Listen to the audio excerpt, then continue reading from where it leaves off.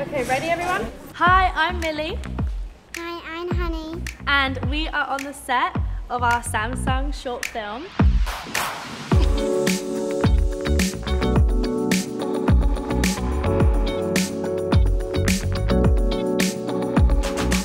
Cut, we got it.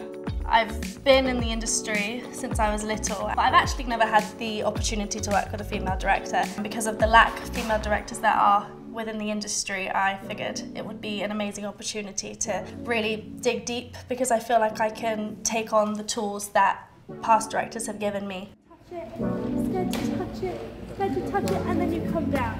The film is about growing up as a young girl and the pressure of not knowing who you are supposed to be. The silks represent womanhood, and that's why at the beginning, when my younger self isn't really wanting to do anything with it, it's because she's not ready for it yet. Until I come in, and then I am actually finally ready to accept my womanhood and my feminine role. Showing the power in women should be way more celebrated.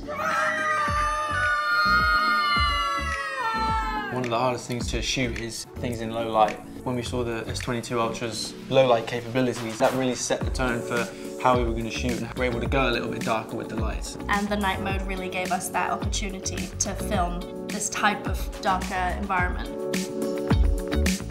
Samsung has been part of my personal journey for a very long time. It is definitely a huge part of my life, his life, every bit of tech. It's a very organic relationship, yeah. and that's why we decided to do the project with them.